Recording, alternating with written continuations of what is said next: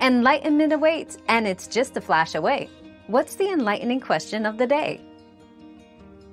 Yes, you can make your voice sound older or younger on VoiceMod.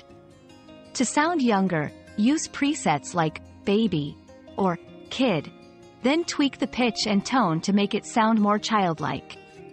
To sound older, choose a deeper voice preset like man or grandpa and lower the pitch and add effects like soft or reverb to create a more mature, aged voice. Adjust these settings until you achieve the desired youthful or aged effect. Our quest for knowledge never ends. Thanks for being part of today's discovery. Subscribe, like, and share to join us on the next one.